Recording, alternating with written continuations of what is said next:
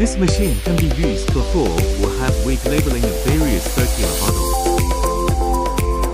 This machine is widely used for labeling different sizes of round bottle products such as round cans, round bottles, and round cans in industries such as cosmetics, food, pharmaceuticals, daily chemical products, and light industry.